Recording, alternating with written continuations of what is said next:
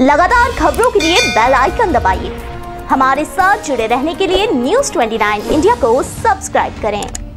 नमस्कार, स्वागत है आप सभी का न्यूज़ 29 इंडिया में। मैं हूँ आपके साथ प्रिया शर्मा।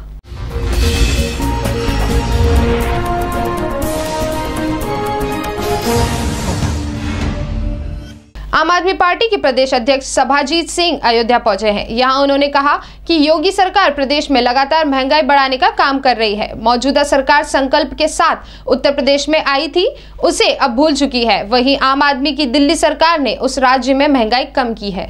आपके प्रदेश अध्यक्ष सभाजीत सिंह ने कहा कि भाजपा की मौजूदा प्रदेश सरकार महँगाई कम करने की बजाय बढ़ा रही है। हर छह महीने में बिजली की दरों में बढ़ोतरी की जा रही है। वहीं अब उत्तर प्रदेश परिवहन निगम की बसों में सफ़र करना भी महँगा हो गया है। उन्होंने कहा कि दिल्ली में होने वाले विधानसभा चुनाव में इस बार उत्तर प्रदेश के आपके कार्यकर्ता बीजेपी सरकार की नीतियों का पुरजोर विरोध करेंगे।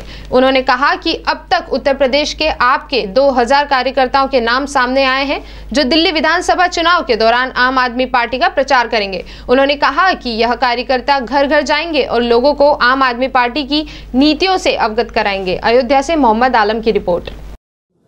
दिल्ली में फरवरी के महीने में होने वाले विधानसभा के चुनाव में अयोध्या जनपद से आम आदमी पार्टी के कार्यकर्ताओं की व्यापक भागीदारी सुनिश्चित हो पार्टी का प्रचार करने के लिए। तो इसलिए आज ये आम आदमी पार्टी के प्रमुख कार्यकर्ताओं की बैठक हो रही है।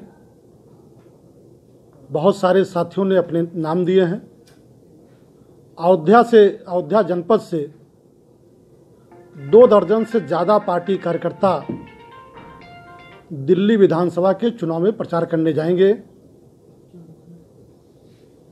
ये उन जो इलाकों में जाएँगे,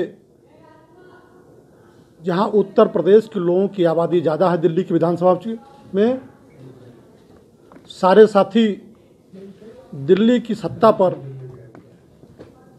अरविंद केजरीवाल और आम आदमी पार्टी दोबारा प्रचंड बहुमत के साथ चुनाव जीते। इसलिए पार्टी कार्यकर्ताओं ने दिल्ली पहुंचकर आम आदमी पार्टी का प्रचार बनने, जो प्रचार अभियान में शामिल होने का निर्णय लिया है। इसके साथ ही साथ पूरे उत्तर प्रदेश के सभी ज़िले से कार्यकर्ता दिल्ली विधानसभा के चुनाव प्रचार में जा रहे हैं। अब तक जिन साथियों ने दिल्ली विधानसभा चुनाव में चलने की अपनी स्वीकृति दी है। उनकी संख्या लगभग 2000 से ज़्यादा जो कार्यकर्ता पूरे उत्तर प्रदेश में आम आदमी पार्टी का प्रचार करने के लिए दिल्ली चुनाव में जाएँगे। जिस तरीके से अरविंद केजरीवाल जी की सरकार ने शिक्षा के क्षेत्र में, चिकित्सा के क्षेत्र में, बिजली और पानी के क्षेत्र में ऐतिहासिक काम किया है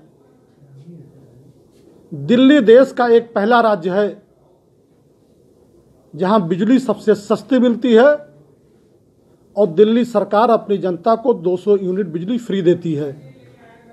वहीं दूसरी तरफ़ उत्तर प्रदेश में हर छः महीने पे योगी आदित्यनाथ जी की सरकार बिजली की कीमतों में बढ़ोतरी कर रही है।